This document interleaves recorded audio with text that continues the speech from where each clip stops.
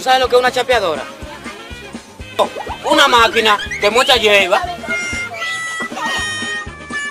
Mm, No. Chapeadora es una mujer como tú. Sí, como tú, como tú, pero con intereses. Una limpiadora, pero de bolsillo.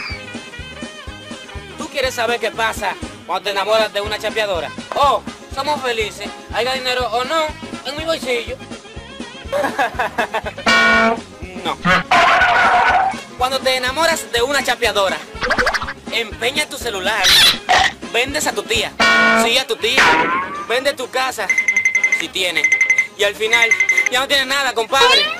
Este tema me recuerda el celular que empeñé, el tanque que vendí, el amigo que atraqué, la novia que dejé, y adora que me dejó.